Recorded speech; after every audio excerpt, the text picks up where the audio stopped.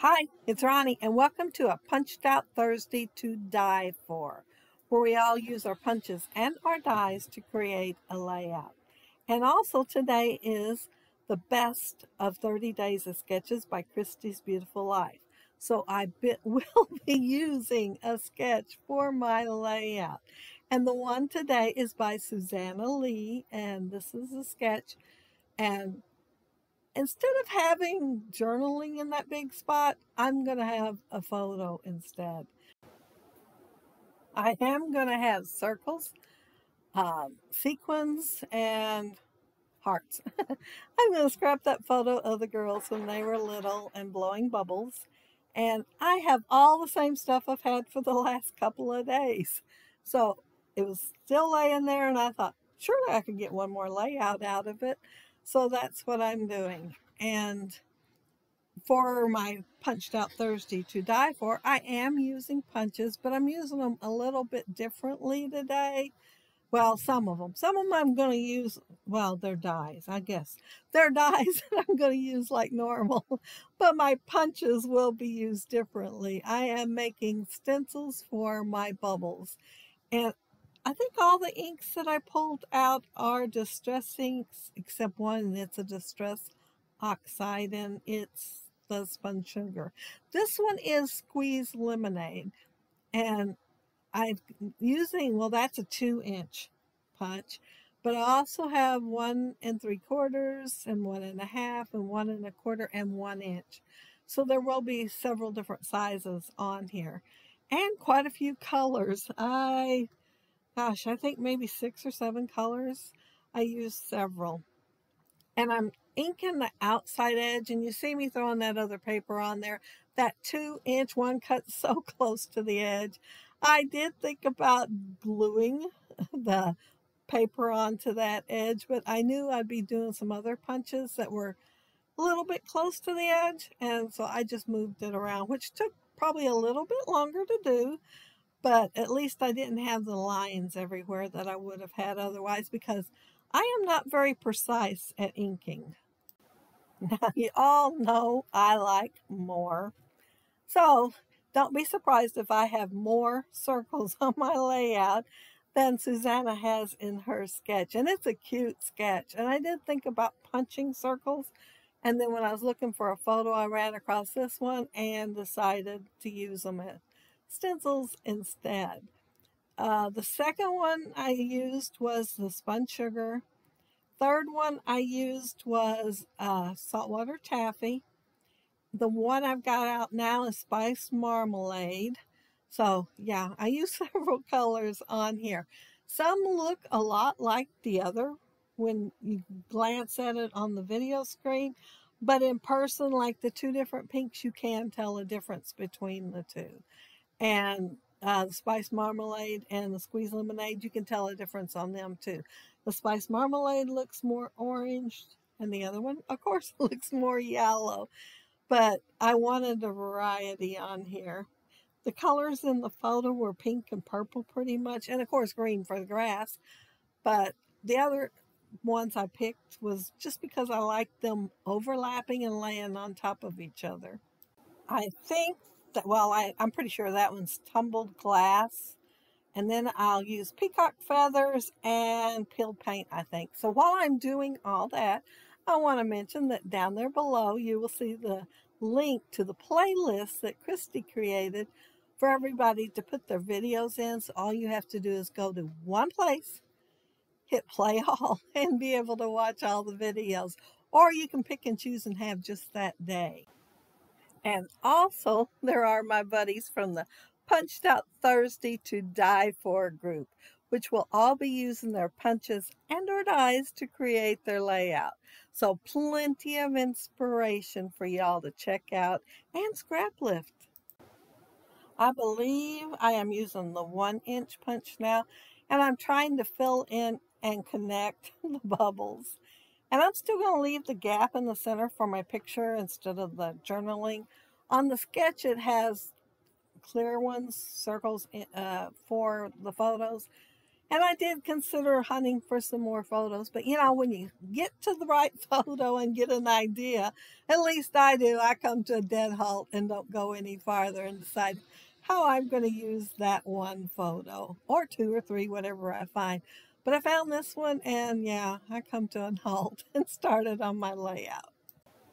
And fair warning, in case you haven't noticed, it's a lot harder to leave that little white empty spot in the center of the tiny ones than it was the big ones. I do have smaller brushes, but I try to keep with the same color groups with each one of my uh, sponges brushes.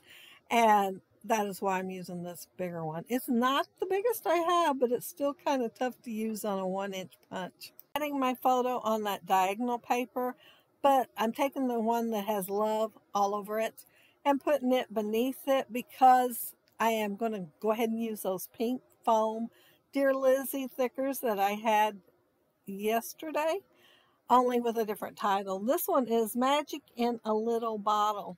Those girls, well, all my grandkids, I can't think of any of them that didn't, love bubbles. I love bubbles. And, you know, even if you run out, you can go make some by pulling out the Dawn. So yeah, I could give them some and they'd be busy for quite the little while blowing bubbles. And that day I just happened to take my camera back out there and take a picture.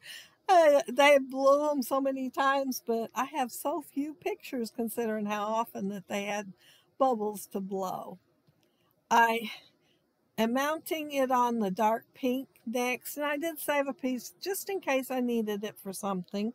I don't really because I have that other scrap, but you know, I've, I have to think ahead. These were cut out to start with. I do not plan on using anything black on there, but I considered using the diamonds. I even added foam tape because they didn't have any before. I even had foam tape thinking I was really going to use them today, but they're not going to stay on there. I'm going to take them back off. And then finally, I remembered this little die set. It's not a great die set, but it is bubbles. And I cut the bubbles and the jar with vellum. And the top part, it could be, it's supposed to be a lid. I don't know. but I'm putting it on there anyway.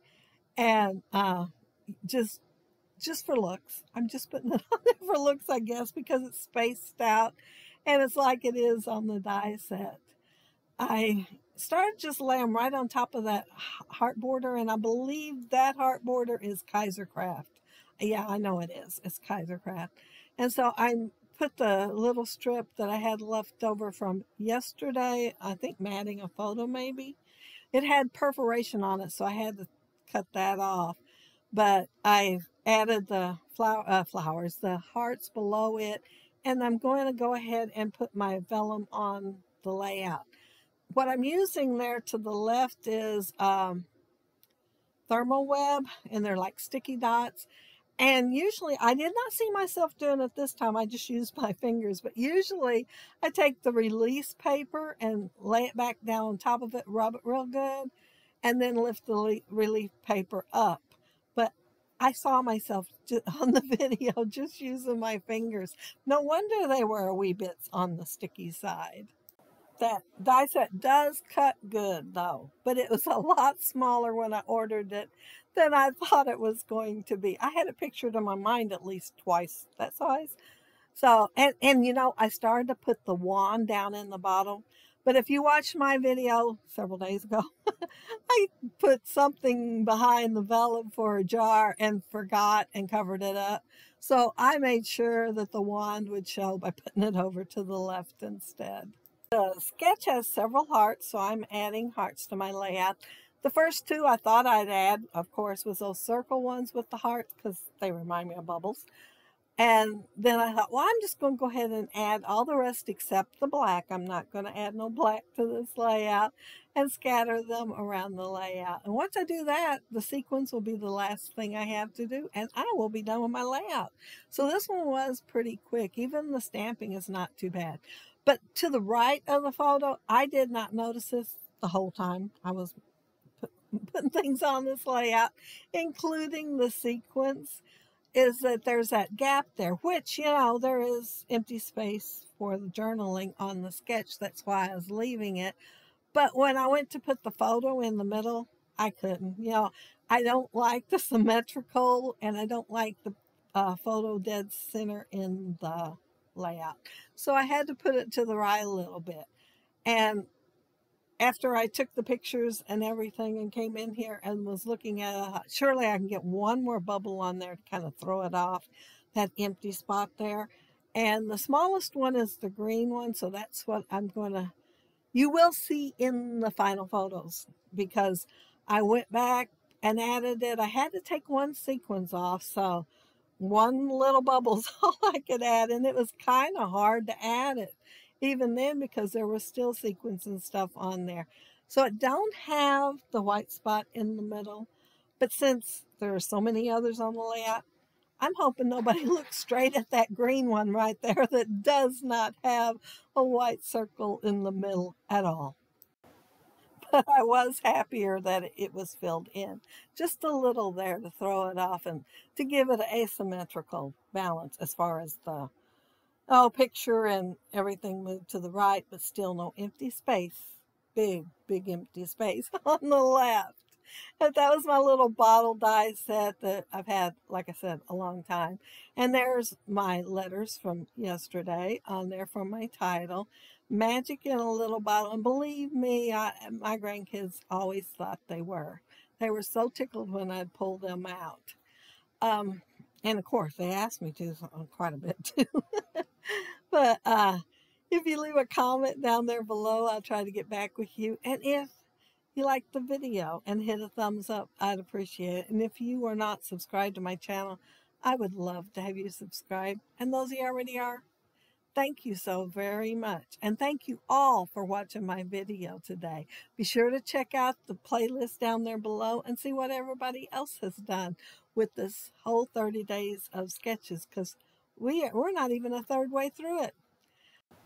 And my buddies on Punched Out Thursday to see what they did with their punches and or dies. Have fun and have a happy scrappy week. Bye.